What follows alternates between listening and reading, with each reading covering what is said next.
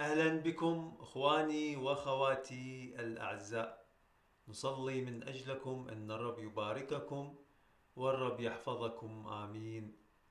في هذه الحلقة نتناول موضوع مهم جدا وهو أسرار ما بعد الأسرار في تجربة الخروج من الجسد. وأيضا نجيب على أحد الأسئلة من أحد متابعين حلقاتنا حول هذا الموضوع. أعزائي وأحبائي، تجربة الخروج من الجسد تسمى باللغة الإنجليزية out of body experience أمامك. هذه التجربة تختلف عن الإسقاط النجمي في بعض الأمور. وأيضا هناك تشابه بين التجربتين في أمور أخرى. وضحنا الاختلاف في الفيديو رقم 131 في حلقة مفصلة عن الإسقاط النجمي. نبدأ هذه الحلقة حيث هناك تساؤل في الإنترنت يتساءلون هل هذه الجلسات أو التطبيقات فيها حالات مضرة أم هي غير مضرة؟ الجواب هذه التجربة أخي وأختي أنت هنا تعكس أنت هنا ماذا؟ أنت هنا تعكس ماذا نقصد بالعكس؟ العكس معناها هذا المعنى أنت تأخذ نوعية مشاعرك وانفعالاتك وأفكارك معك عندما تطبق جلسة الخروج من الجسد. نكرر مرة أخرى. نقول العكس معناه أنت تأخذ نوعية مشاعرك وانفعالاتك وأفكارك معك عندما تطبق جلسة الخروج من الجسد. دعونا نوضح أكثر. نريد أن نقول أنه ليست في هذه التجربة فقط أنت تعكس. نحن في كل حياتنا اليومية نحن نعكس باستمرار ما في داخلنا عندما نتعامل ونتفاعل في حياتنا المادية في العالم المادي. دعونا نعطيكم مثال. شخص على سبيل المثال بخيل. كيف يعكس هذا الشعور في تعاملاته اليومية؟ كيف يعكس هذا الشعور؟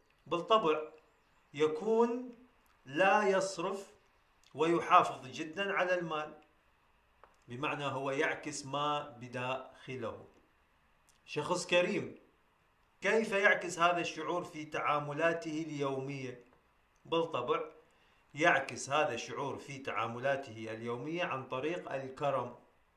شخص آخر عصبي المزاج جدا. كيف يعكس هذه المشاعر في تعاملاته اليومية؟ بالطبع سوف يعكس الصورة العصبية عندما يتعامل مع الأشخاص الذين يتفاعل معهم يوميا. كل شيء في حياتنا الخارجية في تعاملاتنا وتفاعلاتنا في العالم المادي هو عبارة عن انعكاس أي مرآة ما هو موجود تماما في داخلنا من انفعالات إيجابية وسلبية. في تجربة الخروج من الجسد نفس الحالة. فالسؤال هل هو ضار أم هو غير ضار هذا التطبيق؟ هل هو ضار أم هو غير ضار؟ هذا السؤال يكون غير صحيح. بمعنى إن الذي يسأل هذا السؤال فهذا الشخص لم يدرس أو لم يتعرف كاملا على علوم الميتافيزيكس وقوانين الكون. بمعنى آخر أن في هذه التجربة انفعالاتك ومشاعرك وأحاسيسك تأخذها معك عندما تنفصل من الجسد. نكرر ونقول في تجربة الانفصال من الجسد معناها أن انفعالاتك ومشاعرك وأحاسيسك تأخذها معك عندما تنفصل من الجسد. بعد الانفصال فالجسم الضوئي. هذه الكلمة أقصد الجسم الضوئي يعني الجسم الشفاف الذي انفصل عن الجسم المادي. فبعد الانفصال هذا الجسم الضوئي يرى ويشعر ويفكر وينتقل بحرية ويحلق ويخترق الجدران.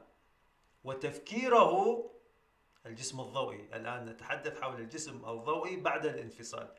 تفكيره يكون منفصل عن تفكير الجسم المادي. ننتبه الآن. تفكيره يكون منفصل عن تفكير الجسم المادي. والآن السطور التالية التي سوف نوضحها هي في غاية غاية الأهمية فننتبه إلى هذه السطور.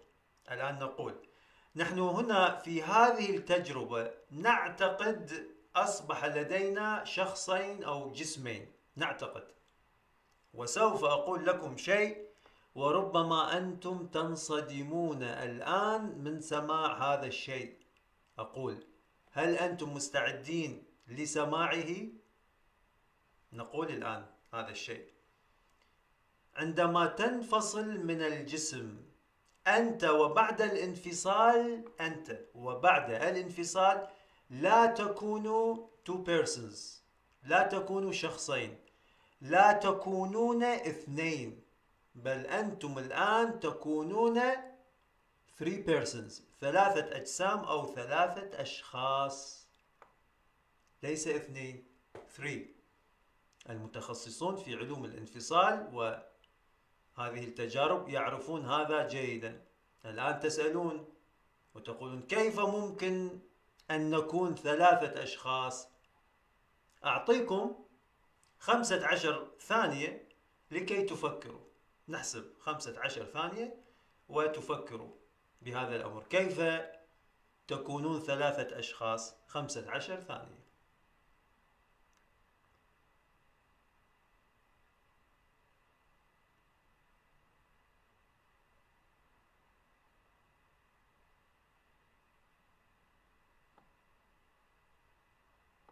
الجواب. تكونون ثلاثة أشخاص وهم كالتالي. أنت الجسم الضوئي. وأنت الجسم المتمدد على السرير. وأنت الآن الثالث وأنت الشخصية الثالثة التي تنتج من دماغك المتمدد وهو في وضعية الحلم أو التفكير. الشخصية الثالثة نكرر.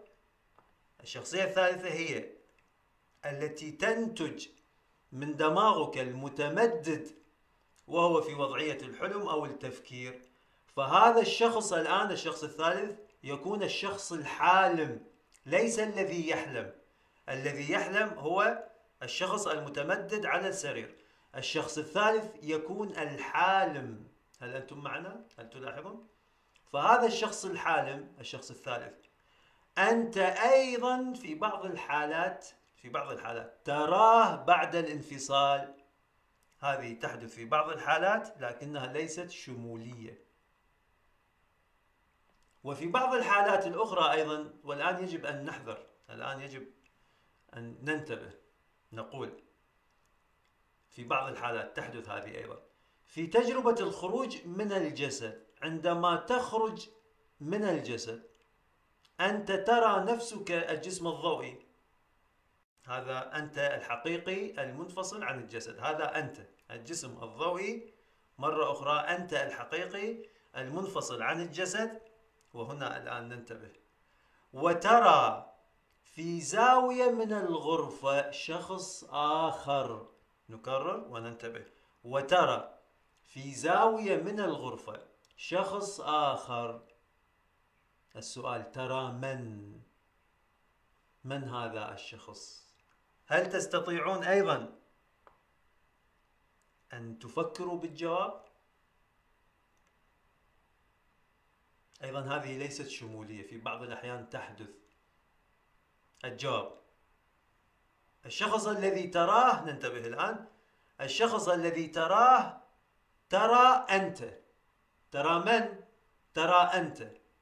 اذا الجسم الضوئي الذي هو أنت وشخص آخر في زاوية الغرفة هو أنت أيضا فأنت الجسم الضوئي تشاهد أو تنظر إلى أنت الذي واقف في زاوية معينة.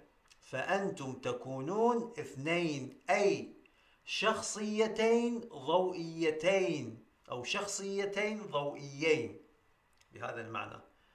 وواحد متمدد على السرير الذي هو أنت الجسم المادي. الآن هذا الشخص الثالث الذي هو أنت الثالث هذا الشخص الثالث الذي هو أنت الثالث ممكن الآن ممكن أن يكون هو شخص وهمي. هو شخص وهمي. وهو الذي يكون مرآة لطبيعة اعتقاداتك وأفكارك وأحاسيسك تماما. هل تلاحظون؟ نرجع إلى هذا الشكل أمامك مرة أخرى. والذي وضحناه في الفيديو رقم 130 والفيديو رقم 132 وهذا الشكل سوف نعتمده في برامجنا المقبلة كدليل نستخدمه لتوضيح مواضيع أكثر. هذا الشكل إخواني وأخواتي في غاية غاية الأهمية. يعرفك أنت في أي مستوى تعيش في أي نقطة في الكون أنت تعيش. بمعنى أين يكون مستوى وعيك في الكون؟ فعندما تخرج من الجسد ونفترض عندما تخرج من الجسد ونفترض أنت شخصيتك هي الشخصية القلقة. لديك مشاعر سلبية أخرى أيضا مثل الشعور بالندم لأخطاء ارتكبتها في الماضي. تشعر ربما بشعور سلبي باتجاه شخص ما أو أشخاص معينين بسبب موقف أو ظرف معين حدث بينكم. فهنا فعندما تنفصل من الجسد ترى نفسك في المستوى الروحي المتصارع أين ترى نفسك؟ ترى نفسك في المستوى الروحي المتصارع. بمعنى مرة أخرى نريد أن نقول أنت تخرج من الجسد وحاملا معك انفعالاتك السلبية. هنا أنت سوف تستقر في المستوى الروحي المتصارع باللون الأحمر. هذه هي انفعالاتك السلبية ومشاعرك السلبية أنت تعكسها عند الانفصال. فترى أجسام أو أشكال أو كائنات أو تسمع أصوات تعكس طبيعة مشاعرك. هل تلاحظون؟ ولهذا دائما نحن نصر نصر باستمرار نكرر نصر نكرر ونقول تدرب على المحبة محبة نفسك ومحبة الآخرين ومسامحة النفس والتواضع. أي تبني شخصية قوية فرحة حرة وخالية من أي انفعال سلبي. السؤال هو كيف تبني هذه الشخصية الحرة القوية الفرحة الرائعة؟ الجواب هذه الشخصية الحرة القوية الفرحة الرائعة هي أساسا موجودة فيك هي حقيقتك. أنت أساسا القوة الغير المحدودة والجمال والفرح الغير محدود. لكنك أنت نقول ناسيها أو لم تفعلها أو لم تفهمها أو هذه القوة العظيمة التي فيك اندثرت أو أزيلت من وعيك بسبب الحضارة السلبية. التي تعيش فيها أو ربما بسبب التجارب السلبية التي مررت بها. فنقول أنت ترجع إلى حقيقتك الغير المحدودة وإحدى التطبيقات العظيمة لتعيش الحقيقة الغير المحدودة حقيقتك المطلقة البعد الرابع هو تطبيق وجلسات الصلاة العلمية. وخاصة في أمر تجربة أو جلسات الخروج من الجسد. تطبق باستمرار الصلاة العلمية تطبيقا مستمرا. تقول باستمرار أنا المحبة أنا الهدوء أنا القوة. روحي من روح الله أفكاري من أفكار الله. كل خبراء وفلاسفة تجارب الخروج من الجسد يؤكدون وبإصرار وباستمرار يؤكدون كثيرا كثيرا على الصلاة العلمية.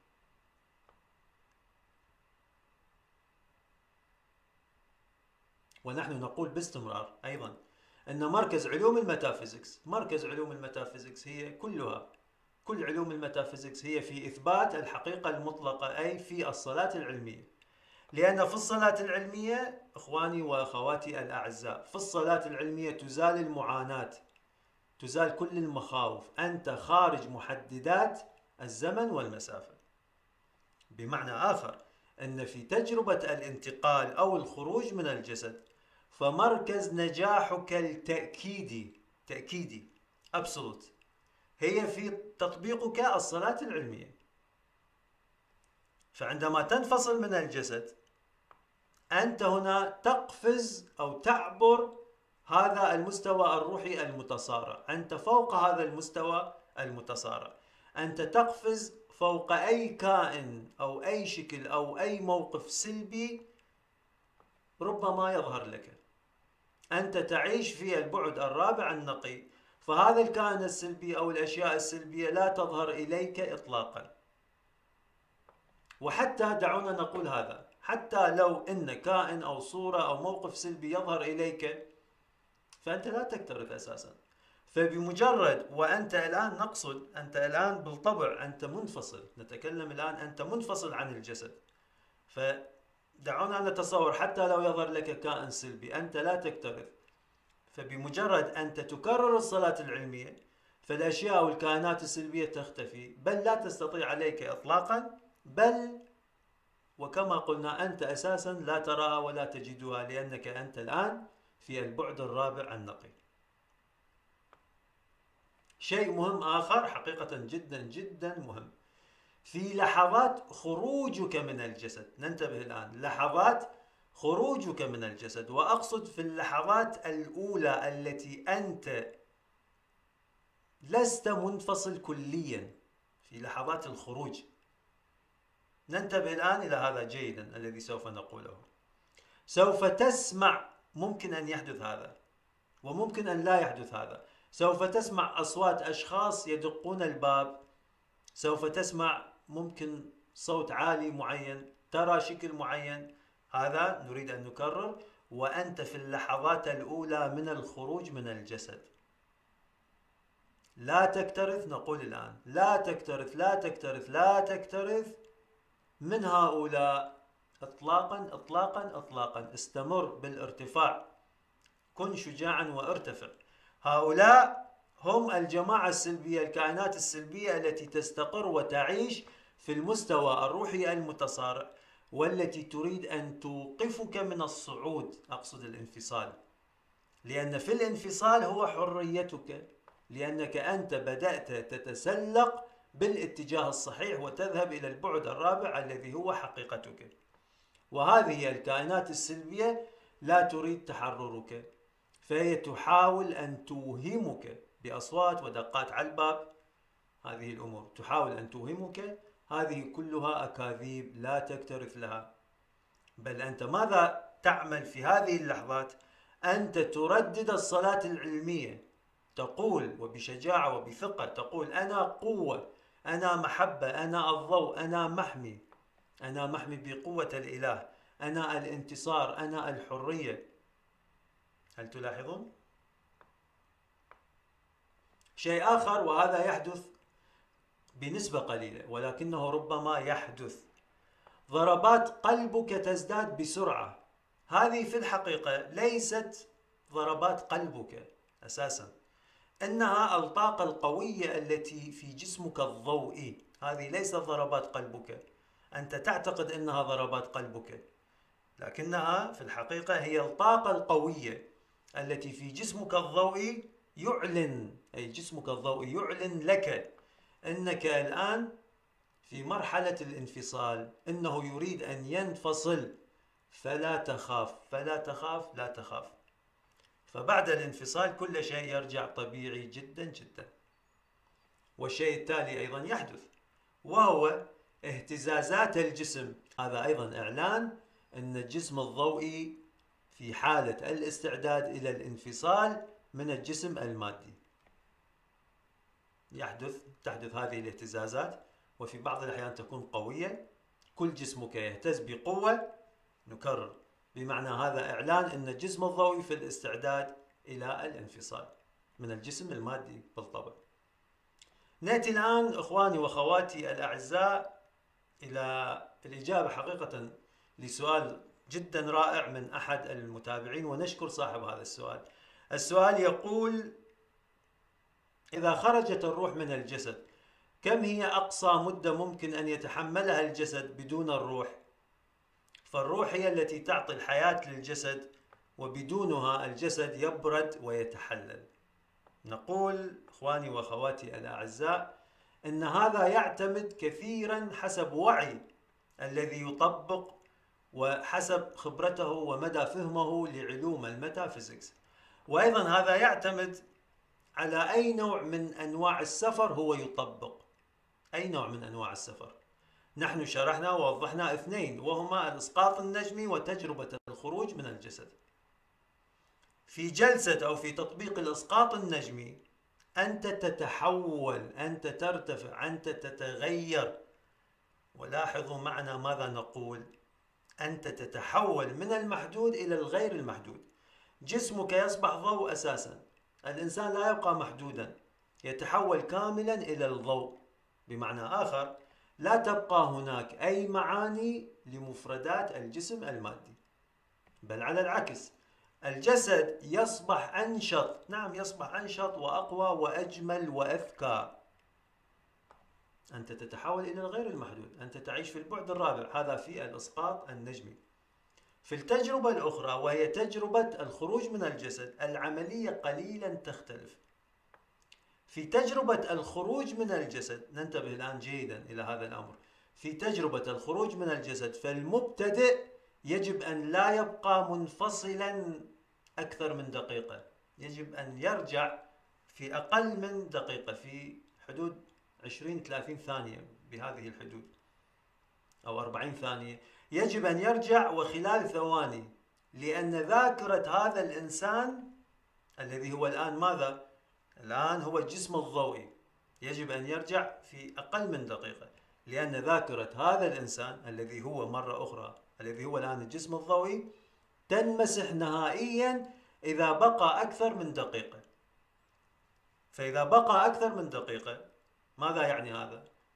بمعنى أنه بعد أن يرجع إلى جسده سوف يكون ناسيا ماذا حدث له. مرة أخرى نكرر هذا أقصد إذا بقى دقائق طويلة خارج الجسد. في حالة الشخص المحترف نحن الآن نوضح تطبيق تجربة الخروج من الجسد. في حالة الشخص المحترف فهنا المحترف نفسه نفسه هو أيضا لديه درجات في الاحتراف. فهناك محترف درجة أولى وهناك محترف درجة ثانية وثالثة وهكذا. فهنا تجربة الخروج من الجسد تعتمد وحسب مستوى المحترف. دعونا نوضح أكثر. مثلا أن المحترف جدا جدا جدا very professional. لا يهمه ننتبه الآن لا يهمه كم يبقى خارج الجسد لا يهمه لأن الزمن والمسافة في البعد الرابع ليست فيها أي معنى. بمعنى هذا البروفيشنال جدا. بمعنى أحاسيسه أو وعيه في البعد الرابع وعيه في البعد الرابع هو لا يرى المسافة والزمن أي لا يعيشها تكون وهمية.